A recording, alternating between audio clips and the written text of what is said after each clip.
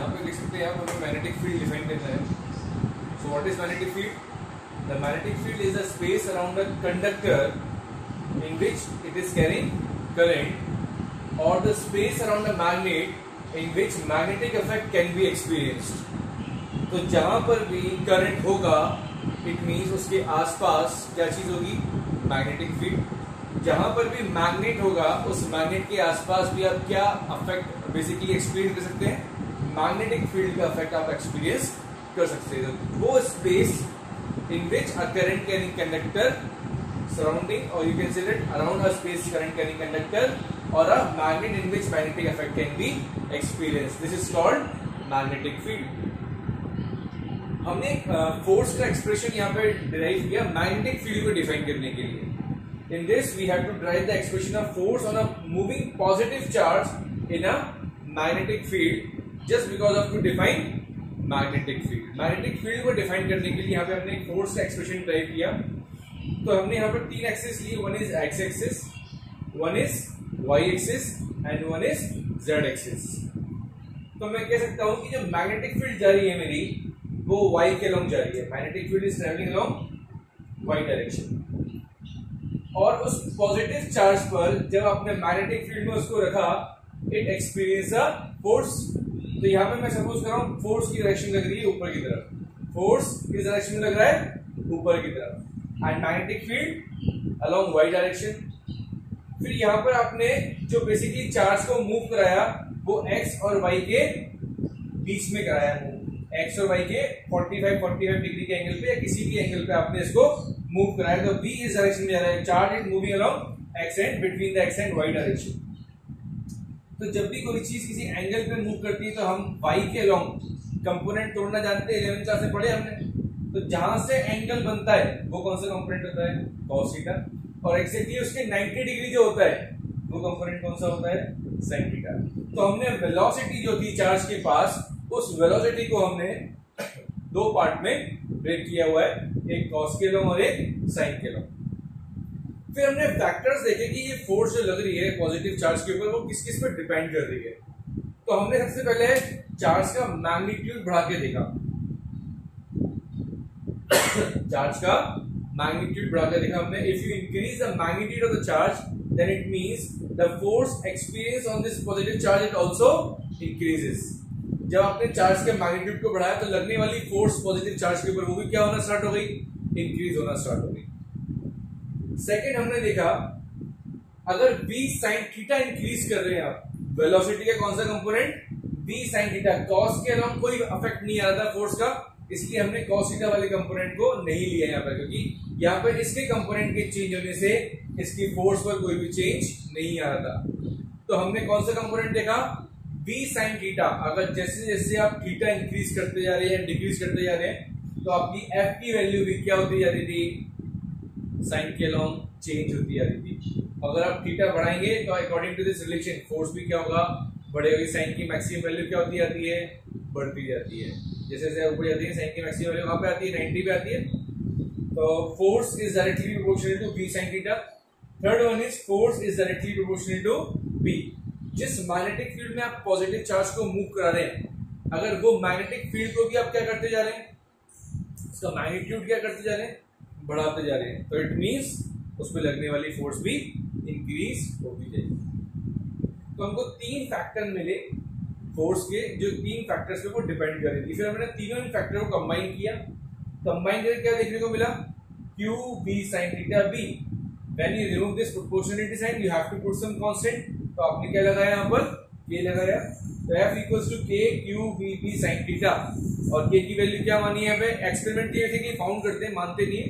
Found करते हैं, यहाँ पे एक्सपेरिमेंटली के की value 1 I then you can say that f equals to Q B B sine theta इसको आप वेक्टर फॉर्म में लिख सकते हैं।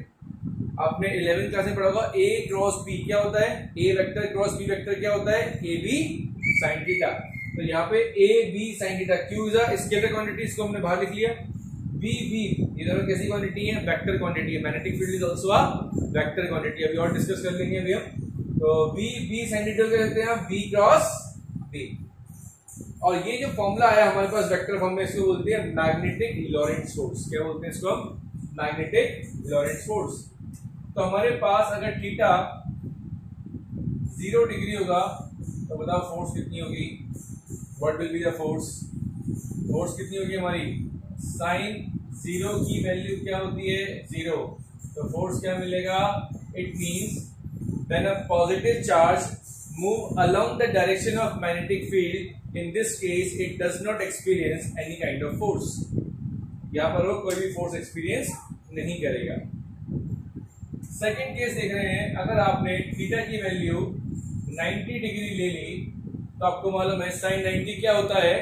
मैक्सिमम होता है। What is the value of sine 90 sine 90 is maximum तो आपके पास फोर्स का एक्सप्रेशन आ जाएगा F equals to Q B C sine 90 की वैल्यू कितनी होगी वन तो आपके पास एक्सप्रेशन कितना आ गया? क्यू बी बी अब इसके बाद अगर आप थीटा 180 लेते हैं थीटा कितना लेते हैं? 180 अगर आप थीटा लेते हैं तो साइन 180 की वैल्यू क्या होती है? साइन 180 भी ज़ीरो होता है। इस केस में भी लगने वाली फोर्स कितनी होगी? ज़ीरो होगी। In this case also the force is zero because the sine 180 value is zero तो अगर साइन ज़ीरो है, तब भी फोर्स ज़ीरो होगा, साइन 180 है, तब भी ज़ीरो होगा, साइन 90 पे मैक्सिमम फोर्स लगी जाना क्योंकि साइन की मैक्सिमम वैल्यू क्या होती है?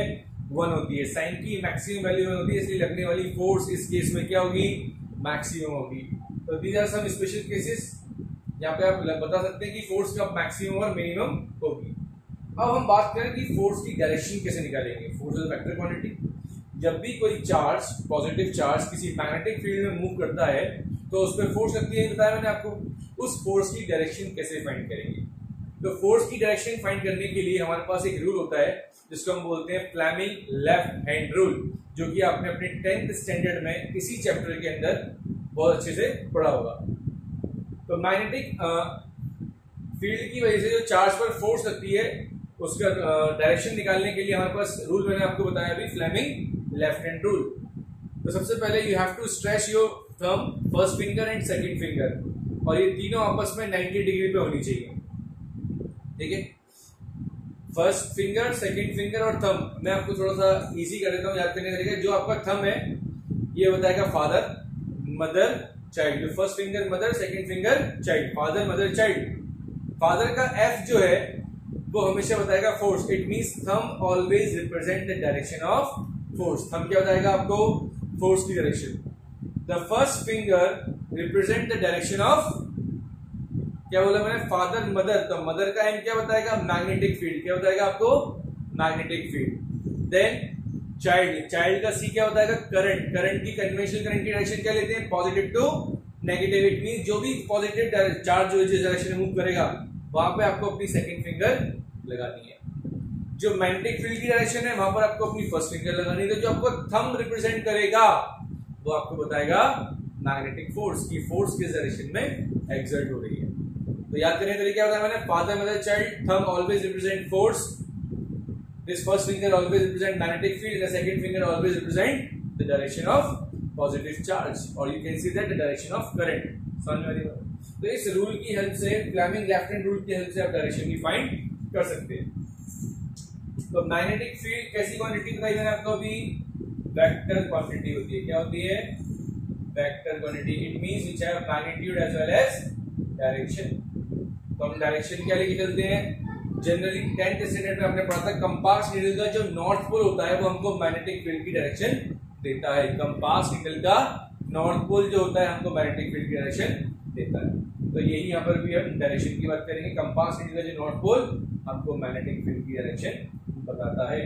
अगर मैं इसकी यूनिट की बात करूँ तो जब भी आपको यूनिट बतानी हो मैग्नेटिक फ़ील्ड की तो आप हो सकते हैं टेस्ला ऐसा unit of magnetic field is tesla T E S L A इसकी सीजीएस यूनिट गॉस होती है।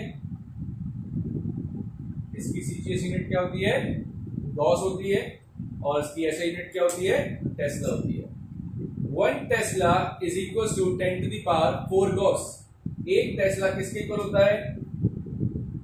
One tesla is equal to ten to the power four gauss so it means one gauss is equal to ten to the power minus four tesla एक tesla ten to the power four gauss के equal होता है तो एक gauss किसके equal होगा? Ten to the power minus four tesla के equal अब मैं इसी फॉर्मूले से आपको मैग्नेटिक फ़ील्ड भी एक्सप्लेन कर सकता हूँ। जो आपने अभी ये फॉर्मूला ड्राइव किया, इसी फॉर्मूले से आप क्या कर सकते हैं? फोर्स का फॉर्मूला ड्राइव देखो फोर्स कितना आया था हमारे पास? Q P P sine nine theta ये आया था फोर्स का formula F equals to Q B B sine theta अगर मैं किसी भी चार्ज को पॉजिटिव चार्ज को मैग्नेटिक फ़ील्ड के अंदर कितने एंगल पे एंटर कर रहा हूँ? 90 डिग्री पे। It means a charge enter in the magnetic field perpendicular to the direction of magnetic field and the magnitude of charge is 1 coulomb and the velocity in which a particle moves or a charge moves in the magnetic field which is 1 meter per second just put this value in this formula you will get f equals to what is the value of q1 what is the value of v1 what is the value of sin 90 sin 90 की value कितनी होती है 1 then it means b into 1 then you will get f is equals to b what does it mean f अगर b आ रहा तो आप कह सकते हैं मैग्नेटिक फ़ील्ड जो होती है वो किसकी इक्वल होती है force at that point in which a charge enters in a magnetic field perpendicularly it moves with velocity unit velocity and it moves with a magnitude of 1 coulomb of charge अगर कोई एक coulomb का charge magnetic field के 90 degree में enter कर रहा है और उसकी वेलोसिटी अगर एक मीटर पर सेकेंड है तो उस टाइम जो उस चार्ज पर लगने वाली फोर्स है, वो किसके इक्वल होगी?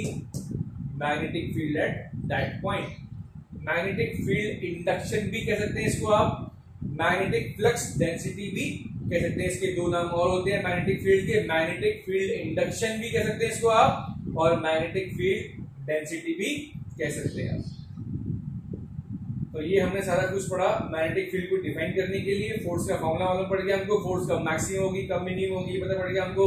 फोर्स एक वेक्टर क्वांटिटी है, ये मालूम पड़ गया हमको। फोर्स की ऐसा यूनिट टेस्ला होती है फोर्स की सीसीएस यूनिट गॉस होती है। फोर्स कब मैक्सिमम कब मिनिमम होगा, ये हमने आपको सारा बता दिया है। कोई भी डाउट होगा, हम डिस्कस करेंगे ओके थैंक यू